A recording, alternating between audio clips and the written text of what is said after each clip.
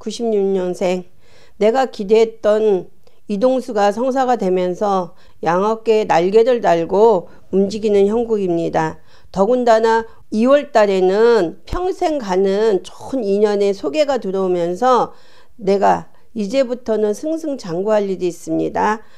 84년생 사람은 누구나 굴렁굴렁 살아가야 되는데 지금 현재가 너무 정확하게 움직이다 보니까 내가 가질 수 있는 것도 놓칠 수가 있습니다. 그렇기 때문에 조금만 여유 있게 움직여 보세요. 그러면 이달 말이 되면서부터 내가 생각했던 대로 흘러가고 내가 원했던 것을 또 내가 가질 수가 있는 기회가 생깁니다.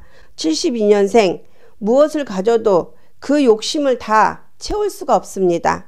하지만 지금부터 조금씩 조금씩 문이 열려서 이달 말 중순부터 시작 시점을 보신다 그러면 금전은 들어오고 또 내가 하고자 하는 일에서도 조금씩 성과가 있기 때문에 많은 사람들이 또 나를 한번 다시 쳐다볼 일이 있습니다. 60년생 정신없이 뛰다 보니 어느새 정상에 올라오셨네요. 금전은 주머니가 항상 풍족한데 마음은 항상 허전하세요. 왜?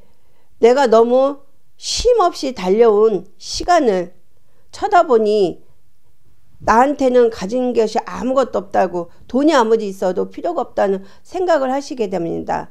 더군다나 수문할경이 넘어서시면서 내 몸에 자꾸 조금씩 이상 신호가 오기 때문에 그것은 병원에 가서 잠깐 검진을 받으시고 조그만 휴식을 취하셔야 훨씬 더 좋은 일이 있으실 겁니다.